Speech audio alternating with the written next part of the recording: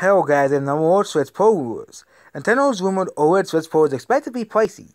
Rumors of the Nintendo Switch Pro are on the rise thanks to recent reports indicating a reviewing happening its E3 2021 this week. Now a French retailer seemingly leaked the price of the next console. It will cost in euros 3.99 as well. Here. So yeah, the Switch Pro and France 3.99 for the Nintendo Switch Pro. The retail price for the Switch and is three twenty nine, three forty, and two three hundred for the United States, which means the night the Switch Pro could be fifty dollars more than Nintendo Switch. So you guys will be paying fifty more dollars for this Switch Pro that may or may not exist. Okay, but yep, there was a report, however, that the Switch Pro will complete replace the current model the four year with the four year old console slowly being phased out.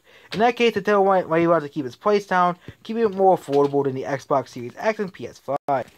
And yeah, we all know this week they said that Switch Pro will be revealed. And yeah, this is just laughable at the moment. These supposed Nintendo insiders could be being BTFO'd by thus time itself, the whole Switch Pro thing being deconfirmed. So that's basically about this week.